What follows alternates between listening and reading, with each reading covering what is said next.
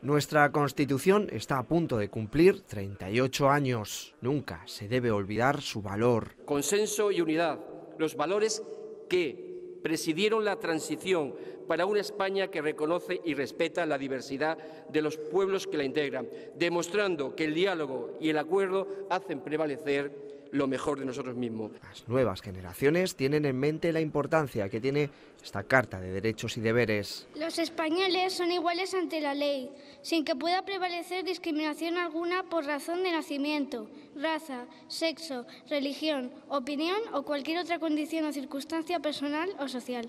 La mejor forma de trasladar el valor de nuestra Carta Magna es premiar a instituciones y colectivos que dan buen ejemplo de consenso, conciliación y buen trabajo.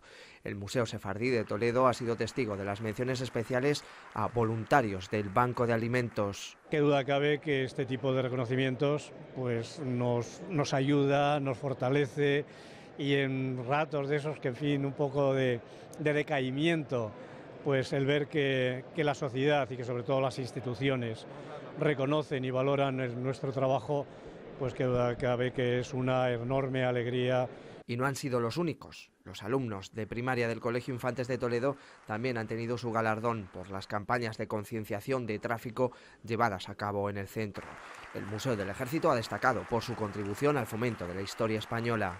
Yo creo que lo que hemos hecho ha sido siempre ser conscientes de la importancia que tenía primero la institución militar y segundo la historia de España. Las fuerzas y cuerpos de seguridad han tenido protagonismo especial.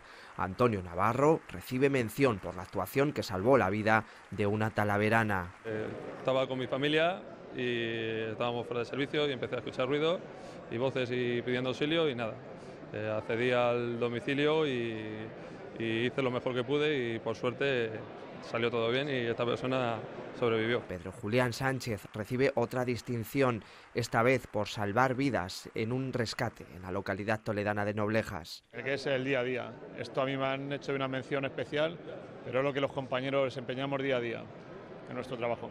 Ejemplos para poner en valor la Constitución, una carta abierta a todas las sensibilidades.